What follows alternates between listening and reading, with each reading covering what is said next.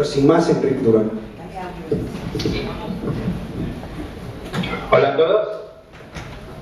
Eh, bien, como ya, como ya se ha presentado, el hecho de que estemos ante una estafa es evidente. Es algo que no viene de cuatro años atrás, sino que se ha ido fraguando en la última década. Hay que, bueno, para esas evidencias en cuanto a, a la estafa, hay datos de sobra que demuestran que eh, antes de que saltara la crisis en el 2008, es decir, los años anteriores, hubo una política eh, plenamente consciente de sobreendeudamiento en los países del sur de Europa, que hizo que el crédito en España, en Italia, en Grecia, en Portugal, etcétera, fuera mucho más eh, grande, mucho más importante que el que fuera en otros países. ¿no? Y esto es un hecho que demuestra que, eh, que había una política, una, una agenda neoliberal detrás, que, que lo que estaba haciendo no era más que aplicar a la Europa del Sur lo mismo que ya se hizo con éxito en los países del sur de, América, en los países del sur este, de este, planeta que está viendo como la deuda es la nueva forma de guerra que, está, que está ejerciendo el 1% sobre el 99%.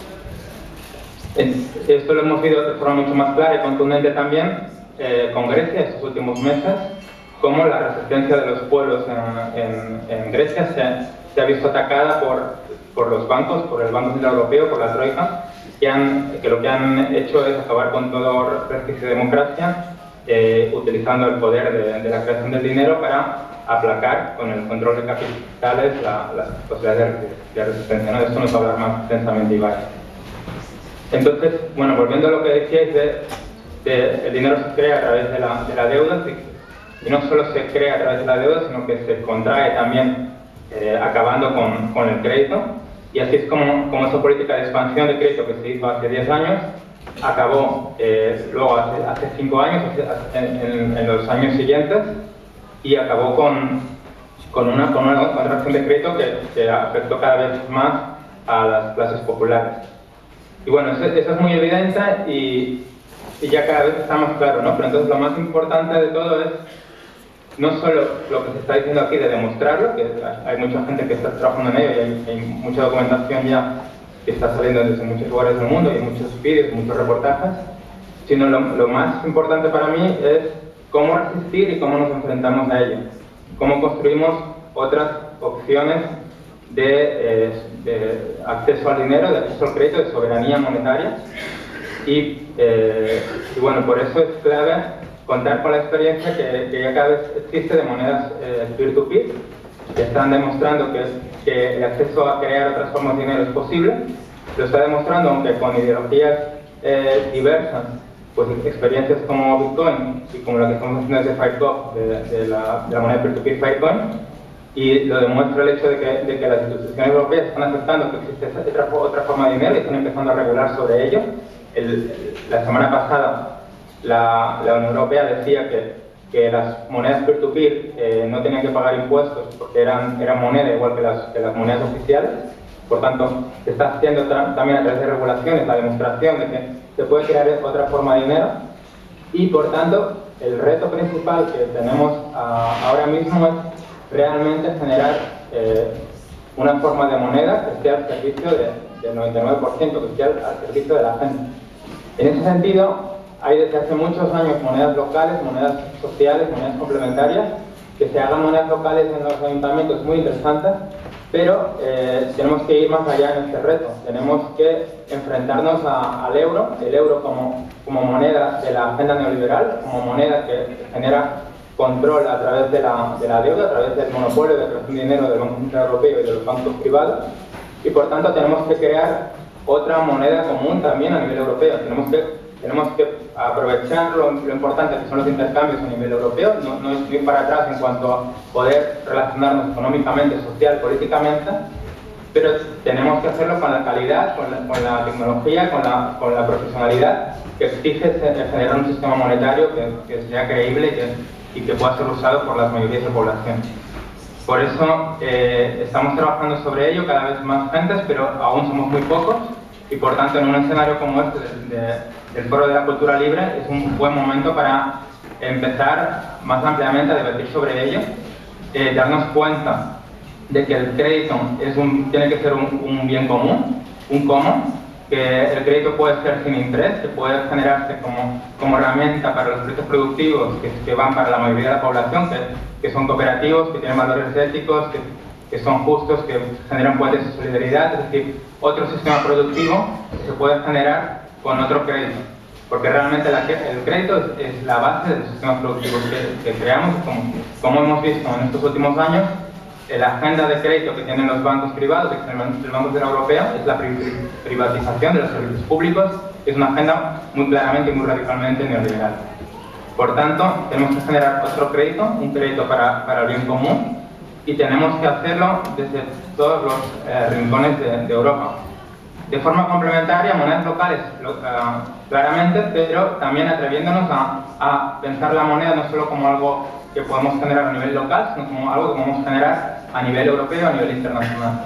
Por eso, una, una moneda común puede ser una base para una eh, comunidad socioeconómica de, los pueblos de Europa.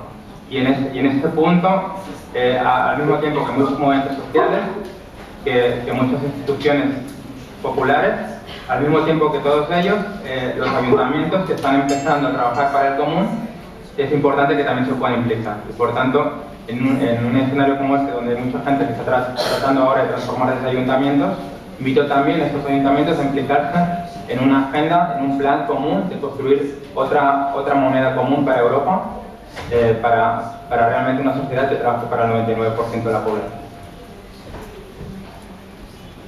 Y con esto eh, dejo ya la palabra a otros ponentes.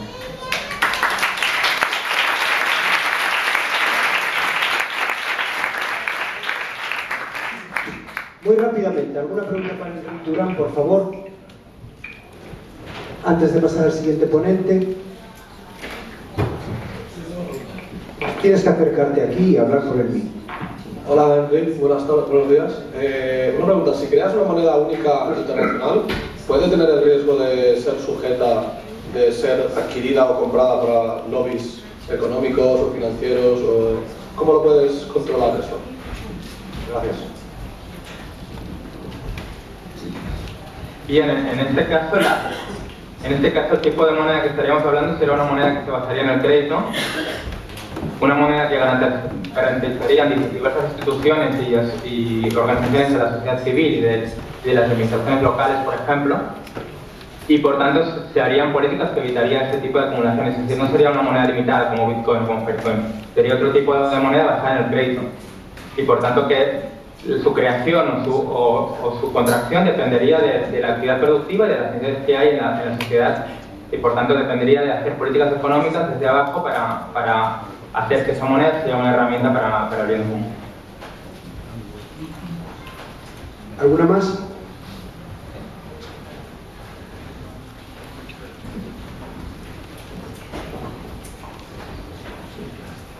Hola, Enrique.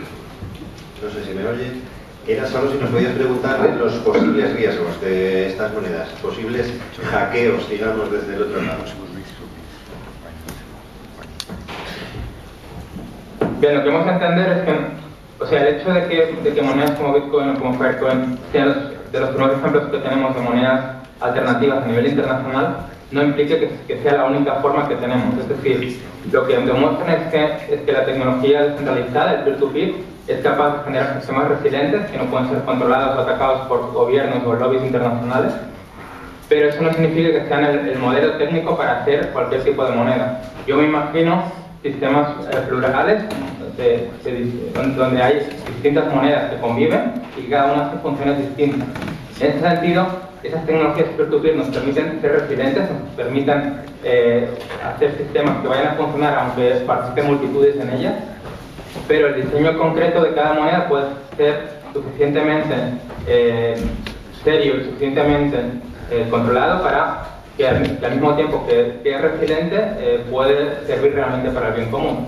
No tenemos experiencias grandes aún en ese sentido, pero por ejemplo están en, en Suiza, hay una moneda que se llama WIP, que, en este caso está, está hecha de forma privada, pero lo que demuestra es que eh, monedas basadas en el crédito mutuo pueden generar participación mayoritaria y generar unas transformaciones económicas importantes. Como estas monedas podemos generarlas también a nivel, a nivel europeo, basadas en sistemas de confianza de crédito mutuo, pero, pero de forma eh, de forma global, no solo, no solo local como en ¿Y hay tiempo para una más o no? Si hay una más o... Una más. Otra pregunta más cortita, si hay alguna, y si no pasamos así. Aquí.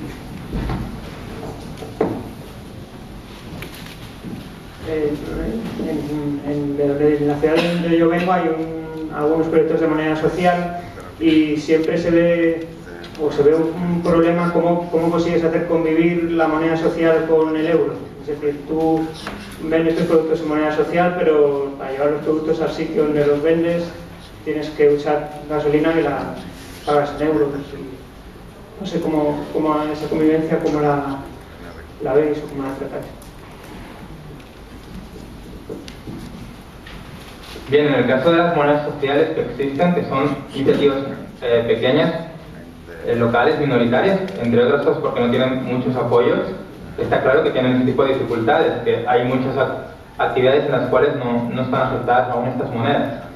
Y, y ese trabajo de, de hormiga de, de, ir, de, ir, incorporando cada vez a más productores, a más, más partes de la cadena desde la producción hasta, hasta el consumo. Y bueno, en, el, en distintos lugares del mundo hay, hay iniciativas muy exitosas en ese sentido, como, como por ejemplo los, los como en Inglaterra con los, con los Pounds y como en, en muchos otros eh, lugares también en Sudamérica, etc. ¿no? Pero lo que estamos eh, diciendo ahora en, en esta idea de, de, de, moneda a nivel europeo es otra historia porque evidentemente para hacerla posible no sería solo con algunas organizaciones de la sociedad civil, sino sería con un apoyo importante de, eh, de movimientos sociales, políticos, instituciones, etcétera, que realmente hicieran un contrapoder a, al euro y a, la, y, al, y a, los lobbies que tiene detrás. Por tanto, tampoco nos sirven esas experiencias minoritarias como ejemplo para lo que podemos llegar a hacer juntos si, si, si nos ponemos eh, desde toda esa diversidad de instituciones. Enrique, muchas gracias eh, por estar aquí desde Paralelo Desconocido. Eh, es un honor y un placer. Y muchas gracias de nuevo y pasamos al siguiente ponente. Un aplauso para Enrique.